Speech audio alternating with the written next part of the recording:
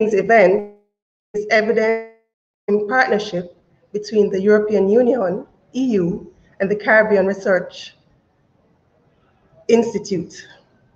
Testing, testing, challenges to social programs for at-risk youths is an output of the EU-funded project, Civil Society Organizations as Actors of Governance and Development. The research focuses on youths, which is a priority group for the EU under this project. Following the opening remarks, we will have the presentation of the research findings by Ms. Joanna Cullen, lead researcher at Capri on the report. We have brought together the Honorable Horace Chang, Minister of National Security, and Professor Anthony Clayton, Professor of Caribbean Sustainable Development, to join the discussion, which will be moderated by Dr. Diana Thorburn, Capri's Director of Research. I am Nicole Walker, Director of Programs at the Caribbean Policy Research Institute, and welcome to this evening's event. Let's welcome the EU's Ambassador to Jamaica, Marianne Van Steen, to give greetings. Good evening um, to everyone. I'm very pleased to be present here for the launch of this new research of Capri, and this in the company of a very um, distinguished panel. Let me acknowledge the presence to this activity of the most honorable Dr. Horace Chang, the Deputy Prime Minister and Minister of National Security, also of Professor Anthony Clayton, Professor at the Institute for Sustainable Development at the University of the West Indies, Dr. Diana Thorburn, Director of Research at Capri, and also in particular, uh, Mrs. Joanna Callan, who is the lead researcher of um, the research we're going to hear everything about tonight. I'm very much looking forward to hear these results. Um, and I think this is extremely important because it's on an issue which is of main concern for all Jamaican citizens, notably the high level of crime and violence that affect the lives of, our, of us all, and how to better protect the young generation, especially the most vulnerable. The European Union is proud to be co-funding organizations like Capri. Um, the project name has been mentioned, civil society organizations as actors of governance and development. Um, these kind of projects make this kind of research um, possible. And um, we actually do think um, that is, uh, I mean, extremely important that, or even like an honor for us that we can contribute to that. Um, what the research aims at is to enhance indeed governance and accountability by stimulating policy innovation and improving the responsiveness of policies in the specific areas of empowerment of women, children, and youth. Through the support um, to this kind of projects, the European Union wishes to strengthen the role of civil society, helping to ensure that its expertise advances the quality of policymaking and the quality of legislative work. And this, of course, in the interest of the entire society. Thereby, the European Union aims to promote more effective democratic control, oversight, transparency. Consulting and involving civil society should indeed, according to us, be standard practice in development in general, um, but also, and in particular, uh, in this particular uh, context, um, in our development activities um, in order to monitor security policies and um, activities. This is what we are focusing on um, a lot here in Jamaica. Actually, recently we have stepped up our support to both the government and to civil society to enhance increased um, citizen security, including legitimacy, good governance, accountability, and sustainability of the citizen security sector initiatives. The project um, of, I mean, we have with Capri is just uh, one of the many initiatives that we are supporting. Our support and the research that will be presented later on um, contributes directly to the objectives of Vision 2030, Jamaica National Development Plan, and the Global 2030 Agenda for Sustainable Development. In particular, it's goal 16, which um, is about promoting peaceful and inclusive societies for sustainable development. And within all this, the research of tonight, um, I mean, of which we will hear the results tonight, focus in particular on youth, because young people are agents of development and change, and as such, they are essential contributors to the 2030 agenda. Um, neglecting their education, their employment, their political, their social needs would undermine the achievement of the SDGs and would leave them vulnerable to crime and radicalism most honorable Dr. Horace Chang as panelist tonight is very welcome and highly appreciated as it is an additional assurance of the commitment of the government of Jamaica to enhance evidence-based decision-making. Thank you so much for being here. I'm not going to extend um, or take more time with you um, as much as you're looking forward to hear the results of the study and also to hear um, the panel discussing about this um, important um, topic for uh, Jamaica. Thank you so much. Thank you, Ambassador Van Steen. We're very happy to have you with us. I think this is your first Capri event since you have come to Jamaica, so welcome. We're really happy for the partnership and that you are able to join us as we continue this partnership. My name is Diana Thorburn. I'm the Director of Research at Capri, and I'm going to be moderating the panel discussion this evening. Just to give you a little overview of the rest of the forum, we will have the presentation uh, followed by two minute responses from each of the two panelists, and then we will go into the question and answer. Tonight, we're going to be using Slido for our questions from the public. You can go on any browser, your phone, your computer, iPad, laptop, to slido.com, enter the event code Capri. You can post questions or vote up questions, and you can also participate in our polls. In fact, there is a poll question there now, which we would like you to go ahead and answer, and answer it now because the answer is going to be in Joanna's presentation. Um, so you can go ahead and do that.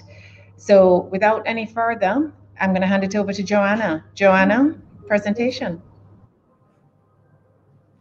Thank you, Dana. A well-known management practitioner once said, if you can't measure it, you can't improve it. And I think if it's one thing we can all agree on, it's that we want to improve Jamaica's citizen security situation. Between fiscal years 2007, 2008, and 2017, 2018, an estimated 387 billion Jamaican was spent on youth programs. Comparatively, for the same time period, 898 billion was spent on education. Still, Jamaica continues to experience some of the highest rates of crime and violence in the world and the highest per capita murder rate in the Latin America and Caribbean region. Now, the main perpetrators are young males of 35 years of age who are usually undereducated and for this reason often not employed in the formal sector. Now, between 2013 and 2018, males under the age of 35 represented 77% of those arrested and charged with a Category 1 crime. This population also accounted for 80% of homicide victims. And if you want to know how dire our situation is, we have 12 year old children who are being arrested for murder. The group of persons who often become involved in crime and violence are often referred to by stakeholders as at risk youth. But who is an at-risk youth? There are several terms that are often used interchangeably by stakeholders. At-risk youth, high-risk youth, or unattached youth. And while I won't go into the nuances of the differences this evening, for today's presentation, youth are thought to be at risk when there is an increased likelihood of them becoming a perpetrator or victim of crime and violence.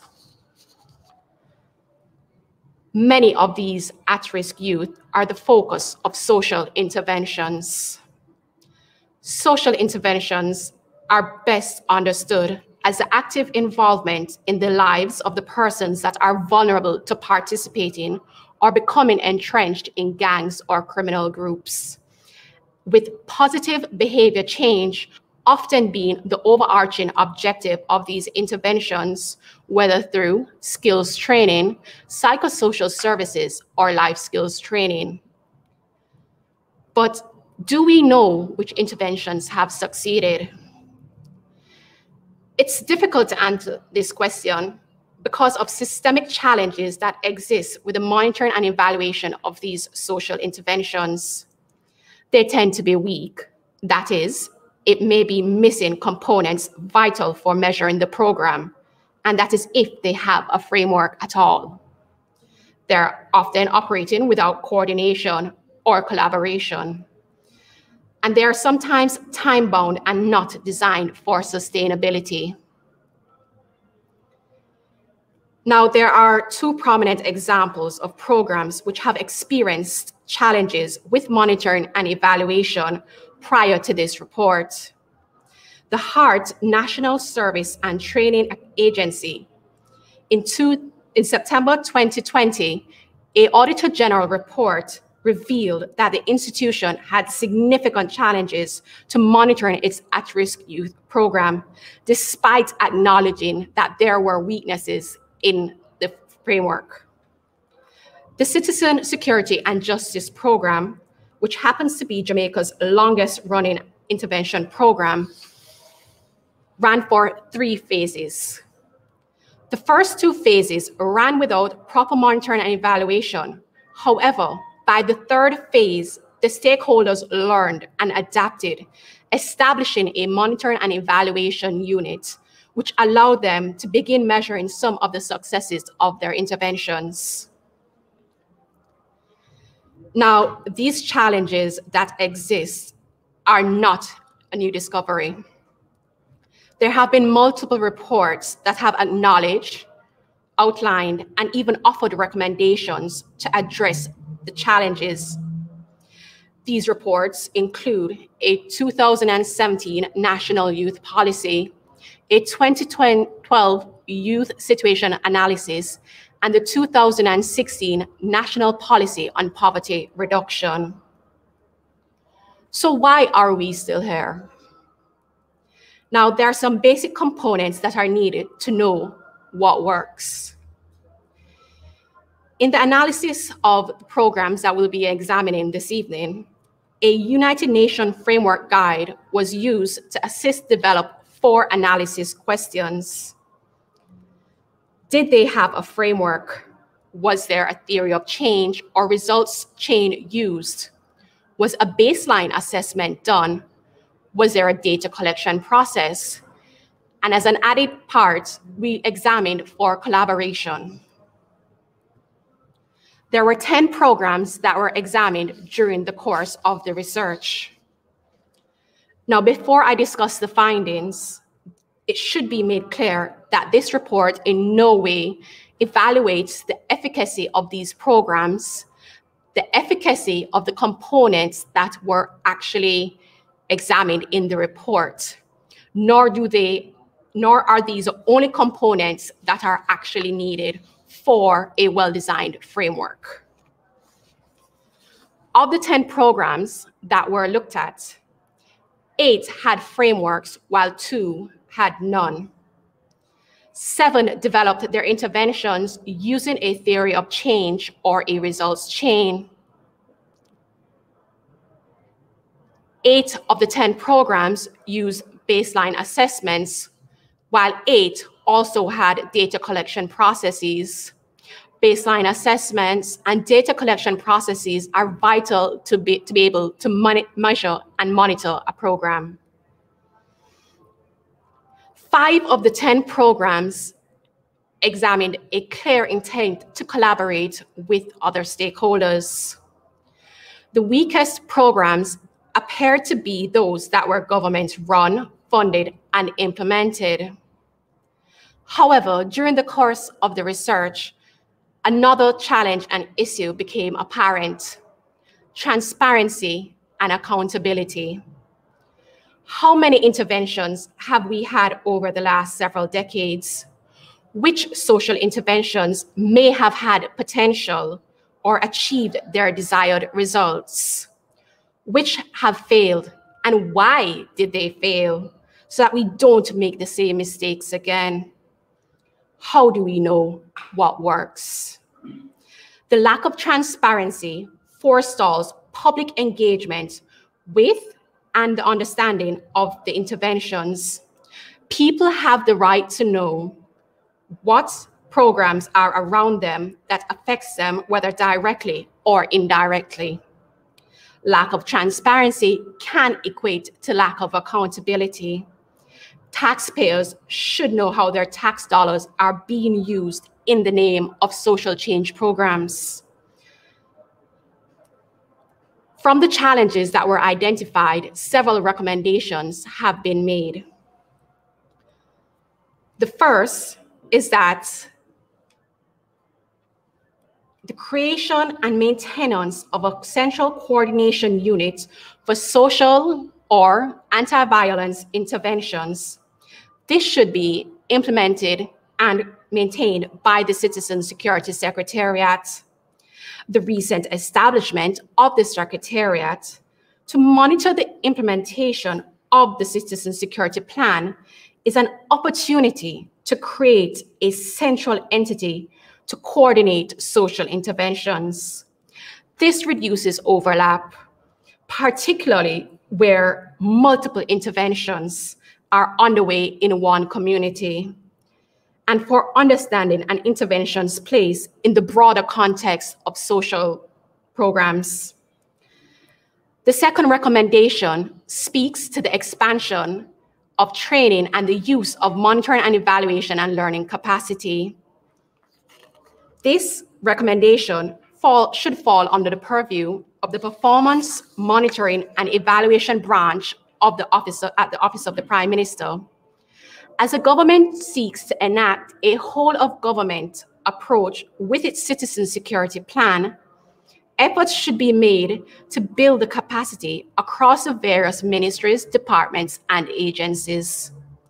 The Performance Monitoring and Evaluation Branch has already started working with various entities to expand their capacity. However, aside from this lack of capacity, even where agencies have requisite personnel, mm-hmm. they are often underutilized and in many instances are not engaged at the onset of the design of the intervention. The third recommendation speaks to establishing a working group of monitoring, evaluation, and learning stakeholders supported by the requisite professionals. This effort should be led by the Citizen Security Secretariat. A working group of experts would serve two purposes.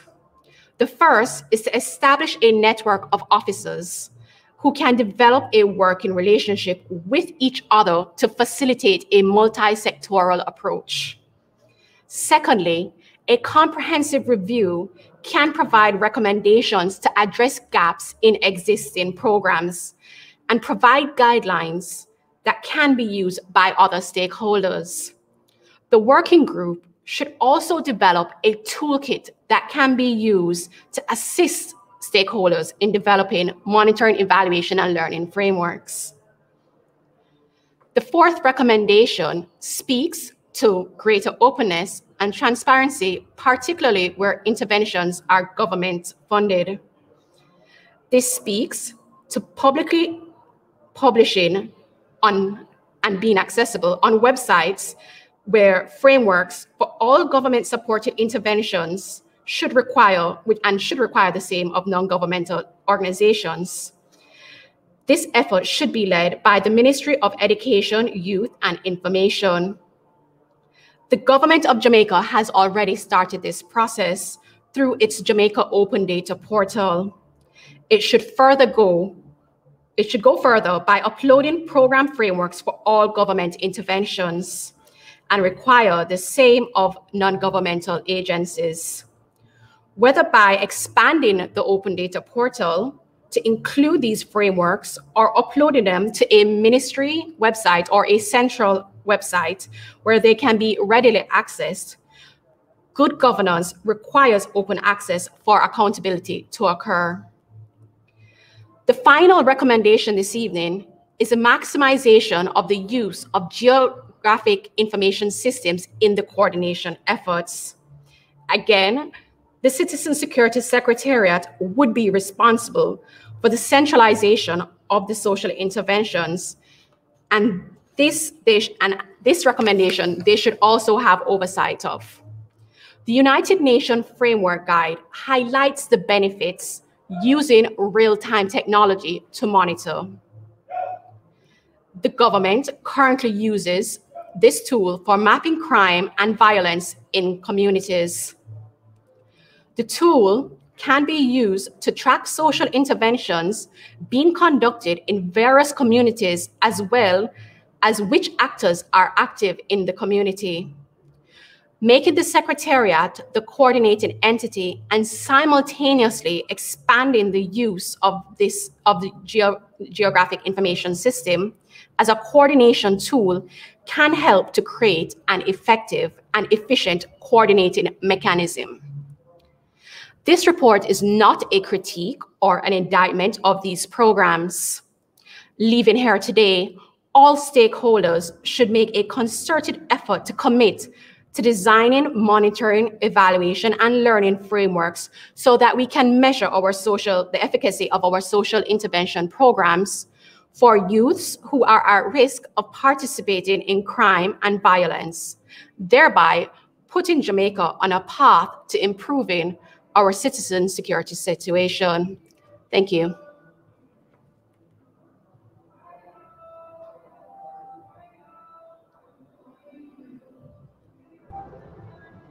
Thank you, Joanna. Uh, before we go into the panelists giving their initial two-minute response, just like to remind our audience to go to slido.com, enter the event code Capri to post questions or vote up questions.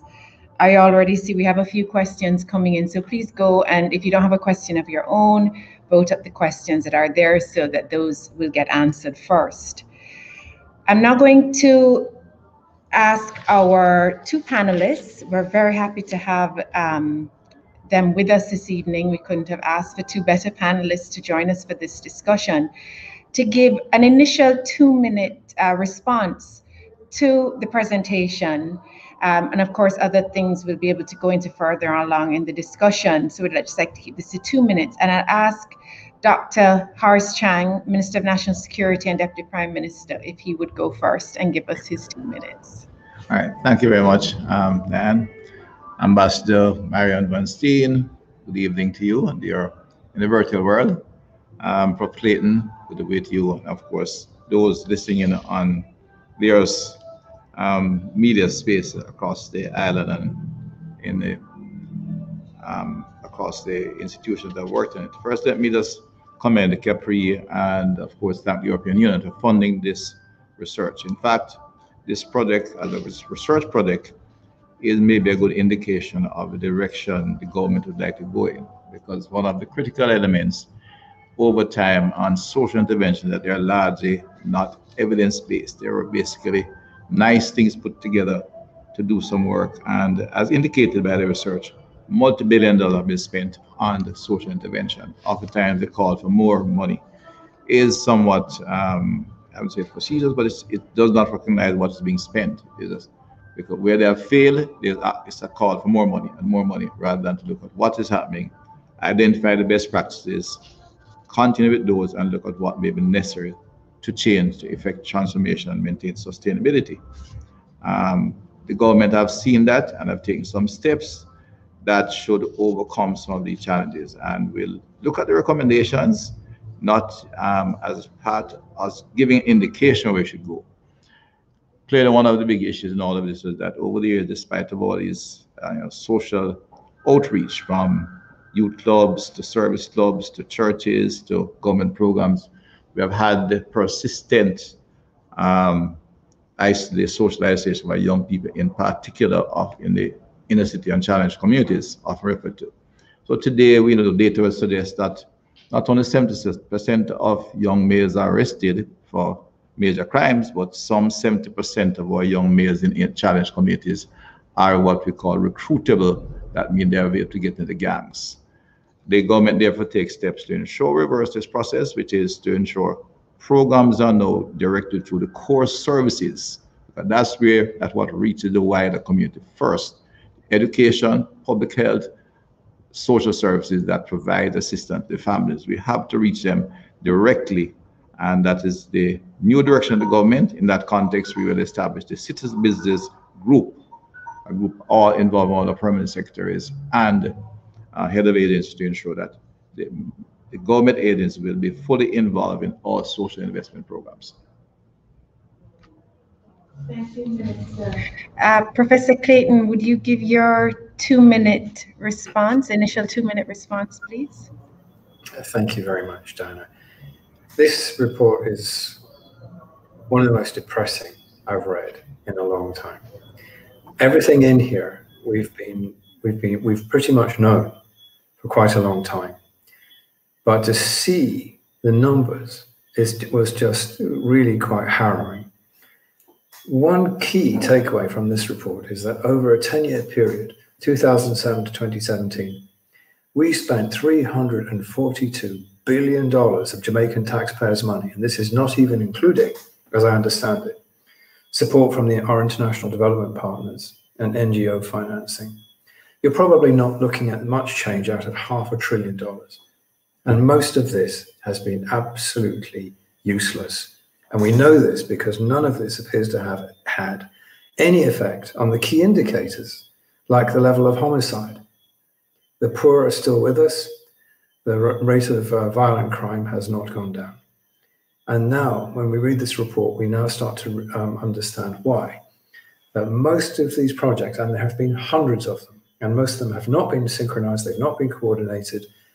And uh, for all we know, a lot of the money has been misappropriated and misspent. But one of the key findings is that in most cases, the great majority of cases, there was no monitoring, there was no evaluation, and there was no attempt to establish baseline data. And if you don't have baseline data, you have no idea as to whether your intervention has had any effect or not.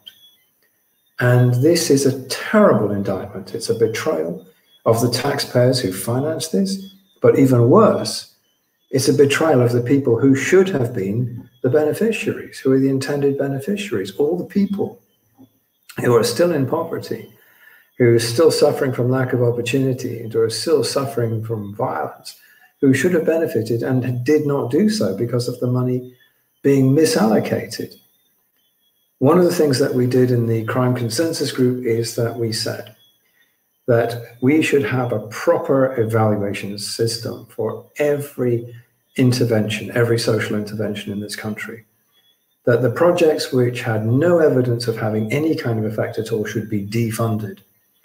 We did not say that the funding should come out of social intervention. What we said was the funding should be reallocated to the projects that actually were working, because there are somewhere in this, there are projects that we believe are working. And those are the ones that need the resource. So we need to, I think, tackle some of the vested interests here. There are many people in the system who have resisted monitoring and evaluation. They don't like scrutiny, they don't like oversight. There's a lot of money that has been misspent and probably a great deal that has been misallocated. I suspect that one of the things we're looking at here is partly the effect of people who simply want to believe that their work is uh, not in vain. But there are also some people who have benefited significantly from this allocation of funding and do not want the money tap to be turned off. But this again is a fundamental betrayal of the people who should have been and were the intended beneficiaries. It is long overdue that we bring some proper scrutiny to this process and that we have an independent body which is charged with evaluating every social intervention and being very hard headed. The ones which are not working should be defunded as quickly as possible. And that money should be reallocated to the programs which can really make a difference to the lives of people. If we use that money for the transformation of our troubled high crime communities, then we may actually be able to start to turn this situation around and give everybody in this country a better future. I sincerely hope that this report is not lost and that the recommendations are fully taken on board and acted on. Thank you. Thanks, Professor Clayton. So we have several questions coming in and uh, Joanna, I'm just going to tell you to get prepared to talk about geographic information systems. But before we go to these questions, I think there's one question that is kind of looming over the report, even though it wasn't actually articulated. And I think now is a good time for all of our panelists to consider this question. Suppose, and I'll ask Minister Chang to go first and then everybody follow. Suppose we were just not to do any interventions at all. Suppose we were to say we don't know if they work, nothing has changed despite all this money, all these interventions. Suppose we just do nothing. Might that might that that be the same as doing all of this and spending all this money, or maybe it might even change indicators in the direction that we want them to? Fairly, as indicated, the amount of money we have spent in the last decade in particular have not had any major impact on the issue out there. But certainly as a country, we could not say not do anything. What we need to examine what we have, and I said the issue raised by the report of having no baseline data is really what is frightening and, and worrying. And I think when I said this first, I got battered by a lot of public interest that I was criticizing programs. The fact is the programs have done some individual good, but they have not done much in changing things, and the challenges don't remain the same. And therefore, we have to identify the programs. We have to do programs in a way that will have impact on the community. Um, Prof. Clayton, his opening remarks have, you know, indicated clearly. We have to ensure that the money is spent in the areas that are challenged and to provide the transformation required, and we need to monitor it. So you have to first get the baseline data, basic things. And you know, we, we use the term academic and those listening with us assume what mean by baseline data um, I take a poor community, illiteracy is a, is a big problem. Kids leave school, cannot read and write, and we spend millions on education, millions on social intervention in the same community. And I find that when you go into community, nobody pays attention to literacy that way. Illiteracy in a particular, the level of numeracy in a particular school in a challenge area is 20% for the past 20 years at grade four level. That to me is negligence by those who are monitoring. So nobody monitors. Everybody do a back to school, everybody do something nice, give a uniform to some child here or there. But the school remains the same and the results remain the same. And therefore we have to spend the money we have, but we must move in new direction.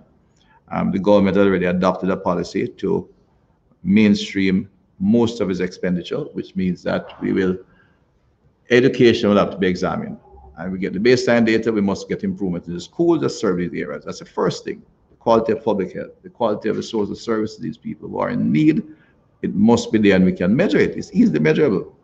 Nutritional status of kids are well known, the educational achievement can be established, and the quality of housing can be known. So we can measure all of those things. And unless we approach all of expenditure that way, we're not going to. And it has to go through, and this is where we have a little variant on the report the expenditure will go to the main core ministries, agencies of government must do their work. We cannot put an education program to a project or something different. The schools must be monitored, evaluated, and if not performing, we have to change the law to change them. You know, you cannot have infant schools, primary schools, secondary school, when you look at social work. A high school in an area with turning out no CXC, no graduate, nobody can work, yet they have 100 staff members, a principal, a huge physical infrastructure. That's where we have to go. And I said the government's commitment is to ensure that the government expenditure is spent efficiently and well, and the projects that come in are supportive. Partner funding, it will be going to the Ministry of Finance as it's more budget support now, and then the outcome again measurable. Um, the role of the community-based organization is something that has to be examined because they've been active all these years. How we have to include the community, we have to have buy-in from the community, but we have to look at how we relate to them and the ones that do play an active role. And finally, too much money was spent on building organ institutions to support or to do the work that should be done by the existing institutions. We feel very strongly about that. One project, which was very well funded, had 68% of its money spent on staffing. That's absolutely ridiculous. And we don't need any new major institutions to do the work to intervene in these communities. We have examined POJ, the Center for Data data collection, data management, to standardize data collection. Could be a registry for social interventions to monitor those who work. CSSP has to do the monitoring. That's their role. But the Ministry of National Security will continue to play a crucial role in looking at the outcome in terms of violence and felony communities. We have to ensure that we work with the police to be a genuine peacekeeping operator, law enforcement agency, and provide a safe channel for the social workers in these communities. Okay. So we have to intervene. okay, so Dr. Chang says we have to intervene, there's no choice. Professor Clayton, suppose we were to just not do any interventions at all? Mm -hmm. Well, I think that would be coming to the wrong conclusion. You can look at the fact that we've spent hundreds of millions of dollars, hundreds of billions of dollars, and we haven't touched the problem. And you could say, well, in that case, they're all useless. But that is fact, I think, is not supported uh, by, by, what you're saying in this report. What has happened is that the good reports, uh, the good projects, um, are simply um, lost in a sea of useless projects. So it's not to say that there's no point in social intervention. We know, uh, mainly, I have to say, from other countries, that there are social intervention projects which can work extremely well and deliver very good results in a relatively short space of time. The, the problem is that we haven't had that framework in this country. That's the bit that we're missing. So it's not saying let's throw out everything and just go and put all the money into education or something instead. Mm-hmm. It's really saying let's have a proper system for screening everything that we're doing and actually seeing how much money is being spent on staffing, how much is going on the on the field work that really matters. What is it being spent on? What did it set out to achieve? And has it achieved it? And if it hasn't achieved it at the end of, say, a year or whatever you say, all right, we either have to fix this or else we shut this down. And then the money can be reallocated to the projects that do appear to be getting some traction. If we don't have that management system in place, an impartial management system in place, then what we will do is we'll go on doing exactly what we have been doing, which is throwing money at a problem in the hope that it will go away. And although we, we touched on this, it is true that I know that the minister said that he's had pushback on this, and I have too. There have been some people who got very upset when I said, said that a lot of our social interventions are useless because there are people who get their living from this thing. There are people who get um, who are on payrolls of NGOs or get consultancies and so forth. And if you look at the reports that have been written, there's not one of them, I cannot find one, that says that we spent a lot of money on this program and it achieved nothing. Every single report, project report I've ever read said that this project was a great success. And we know that's not true. So what this suggests is that we have a lot of people in the system who have an interest in not reporting the truth. So this is why we need an independent body with some rock solid integrity and completely impartial that's going to run the same tape measure over every project and say, is this working or is it not working? If it's working, great, let's back it. If it's not working, let's terminate it as quickly as possible and reallocate the funding. Mm-hmm. Okay, Joe, rather than have you add to that, I want to get to the question of transparency because there are several questions about transparency. Um, that have been coming in on Slido. I'm going to combine a few of them so that we can get to it. I'm going to ask you to go first, Joe, and then pass the questions on to the other panelists. But the general gist of the questions is why are government interventions so unwilling to be transparent about their monitoring and evaluation strategies? A. B. Why should any intervention share its information? And see what to me is the most important question here, and this is particularly where I'd like Minister and Professor Clayton to come in, is how can citizens demand greater transparency in interventions? Okay, thank you, Dana. So, as it relates to the unwillingness to share information, and um, in that respect, we end up with transparency issues. It, I believe, it comes from the.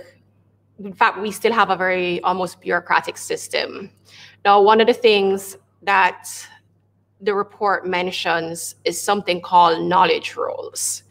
And this speaks to the fact that people should be able, should from the onset know their roles within the grand scheme of things.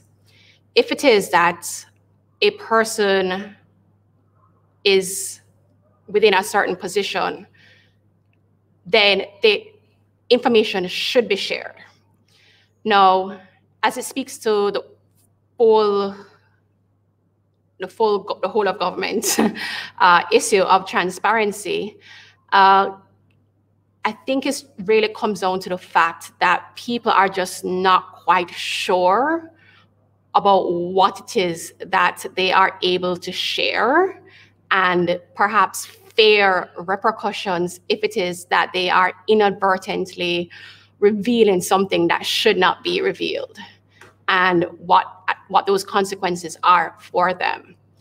Now, as to why transparency is needed, as I mentioned in the report, as in the presentation, it comes down to the fact that citizens, in the interest of good governance, should be able to access information about various aspects of a government or of uh, some intervention taking place because it may directly or directly affect them.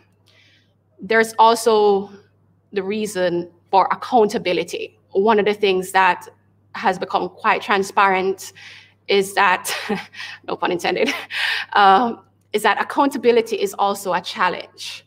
Uh, when we talk about the fact that we are here in terms of not knowing which interventions work. Why haven't they worked? Who should be held accountable for the fact that we don't know what works? And especially where taxpayers' money is being funneled into social change in the hundreds of billions, and that's just for a decade. It should be that persons are able to access the information about how their money is being spent. Uh, the latter part of the question, I think you were directing. Yes. So, Professor Clayton. Professor Clayton, how can citizens, people who are watching this presentation, who are engaging and want to engage, how does an ordinary person demand more transparency in interventions? Well, you know, Diana, it never ceases to amaze me that this is actually our money. These, these are our tax dollars, which we are giving to the government. The government is then responsible for spending that money wisely in the best interest of everybody. But we can't find out. We actually have, you know, it's really difficult to find out um, very much about many areas of government expenditure. And this is really just a fundamental problem. It undermines so much of what we're trying to do we really have to have a culture of accountability. And one of the simplest and most effective ways to do that is put everything online. Actually have statements of government expenditure, programs, targets, indicators, and deadlines. Just the basic information that you would use to run any business. The government is the biggest business in Jamaica. and it's it it reveals less than companies a thousandth of the size. Now this really has to change. In this, in every other area, we need to know what our money is being spent on, for what end, and was that end achieved. Mm-hmm. And this really calls for again the kind of bilateral consensus that we were able to build with the crime consensus plan. A need for greater transparency in public life. Where there is inadequate, insufficient transparency, corruption and incom- uh, flourishes and incompetence persists. The great thing about transparency is it helps to get these evils out of our political system. Um, Dr. Chang? from a practical perspective, how can citizens get you and your ministry to be more transparent and share more information um, about the interventions that we as taxpayers are paying for? And not only just that we're paying for it, to my mind, accountability is not just accounting for the money that is spent, but these interventions are meant to impact our lives as well. So if it is to be trying to create a greater, a better space, a safer space for citizen security, I would like to know what is being done to create that space.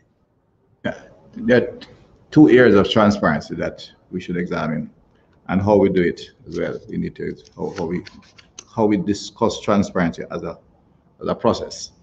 One is, of course, what we may call the fiduciary response transparent, which is how we spend the money. The budget is apparent, it's now online, and that's why we get some partners funding us through the budget. And you can go online and find, you know, what is budgeted for in education. Each school has a certain budget, and that is easily accessible. In fact, very few people take an interest in it, unfortunately. And the second is, of course, the program transparency. A lot of times things are announced to be done for a community, and the community themselves know very little about it and things are going. So I think we have to look at both areas, and I think we're we might be going many leaders and at the leadership level, including political NGOs and professionals who have an interest in gender transparency, tend to speak from their own platform. And we see it in their own eyes. If you come into a challenged community, very few people in that community know what they really they if you if you design a program that will help them, they'll understand it. But they really don't know what to ask for. They don't know where to look. And we keep saying citizen, but the citizens we are talking to in this kind of program is not the citizens we really need to talk to. Most of them, in fact, have an established agenda, interest. They speak from a service center, with a service club, a church group, or an NGO. They are not the people who need to talk. And that's who we're addressing when we say citizens involvement. If those of us who are at this leadership level, they want to change, when programs are announced, we get in the community and educate the community as to what to expect. We need to get the young, the families that are in that are out there that are, you know, depressed. The single mother who has four kids and she leaves them every day with the five-year-old to feed the one the bottle of sugar and water to go and hustle on the street.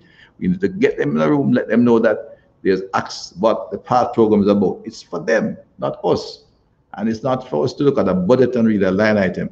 To let those, they need to take a pause. We need to find the social worker, get them involved and get them registered, get the kids' birth certificates, get them into the health clinics that know vaccines and nutritional benefit.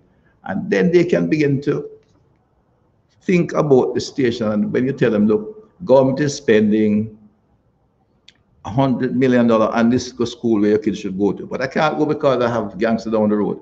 So we need to get the police to make a safe path for them. And then they go to school to they learn to read and write and then begin to feel that they're part of society because they begin to acquire, restore their self-esteem. They get the school uniform because government has a role to do that. Kids are not going to school because they're hungry and they they're not on path. You know, they, they, they, they don't have a uniform. There is facilities to provide that. The, the people who need it don't know. And oftentimes, even with transparency, we get someone who is quite smart, look at the budget, this is being spent here, this is being spent there, but nothing reaches the people who should reach.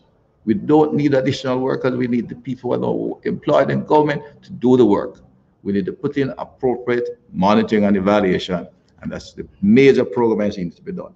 I will not support another bureaucracy to do coordination. Government must work.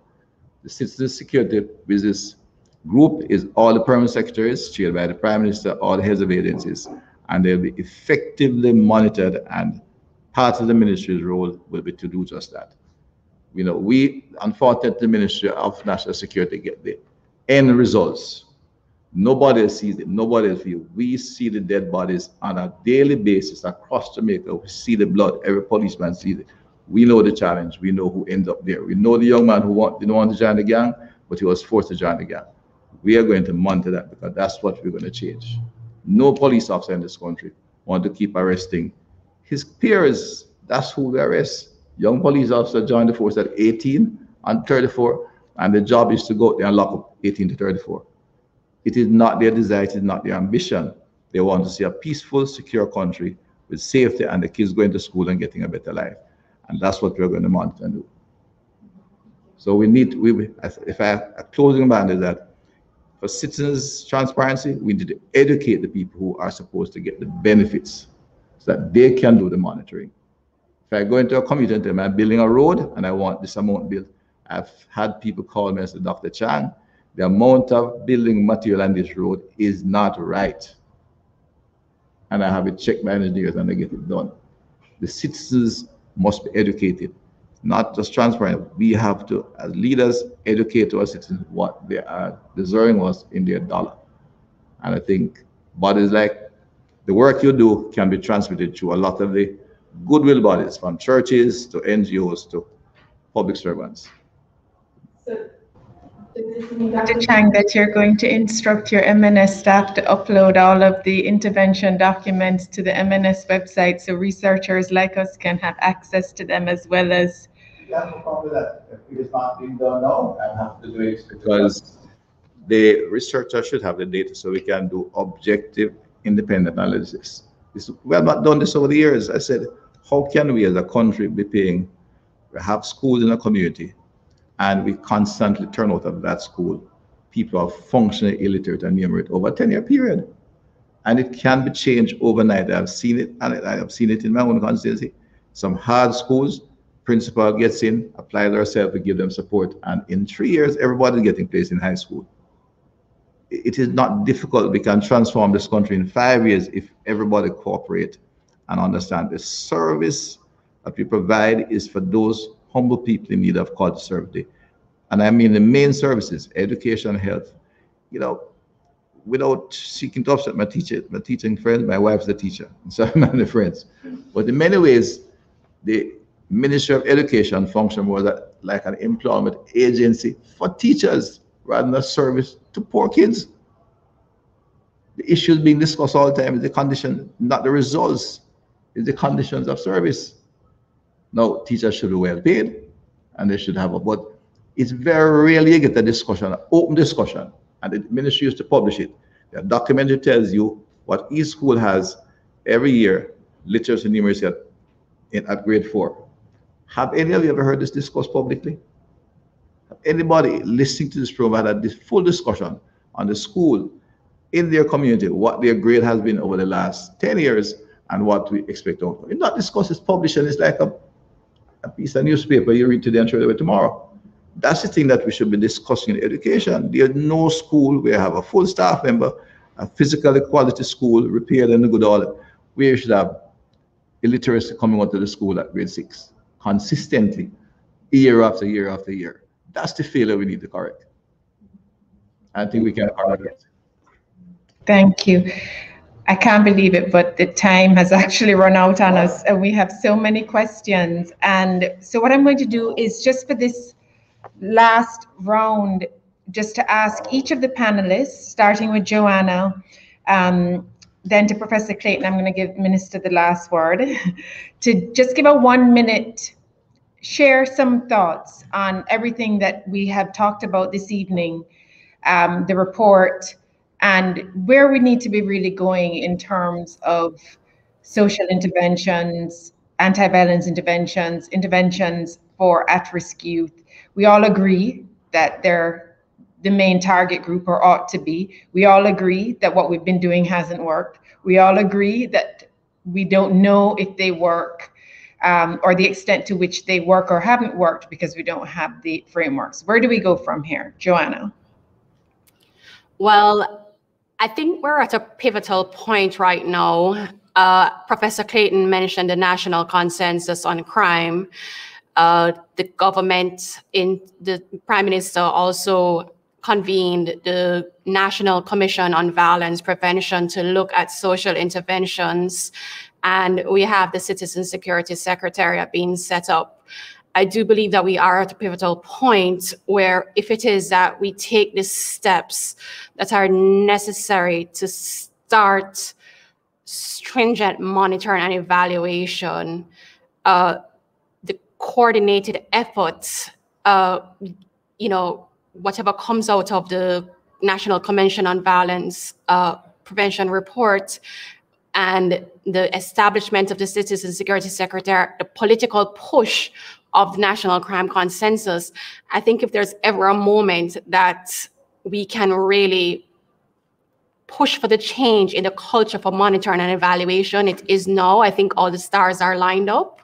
And if it is that once we can begin to engage the stakeholders, both non-governmental and governmental, to convene together to decide upon, you know, definitions, to decide upon, you know, how their social intervention can best assist in the social change.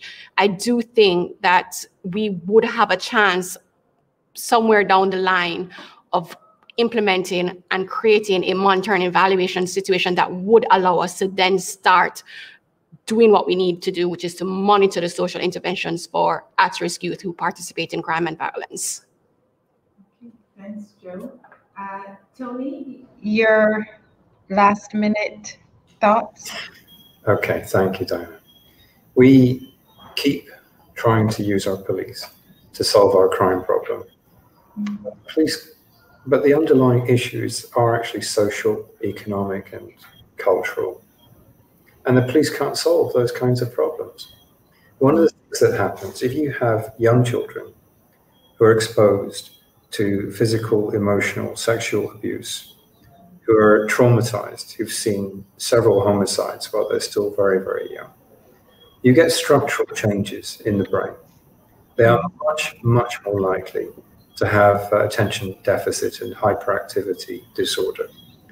And studies done elsewhere have found that if you compare the prison population with the general population, the level of ADHD is about 10 times higher in the prison population. So, what this means is that we have broken families who are raising broken children.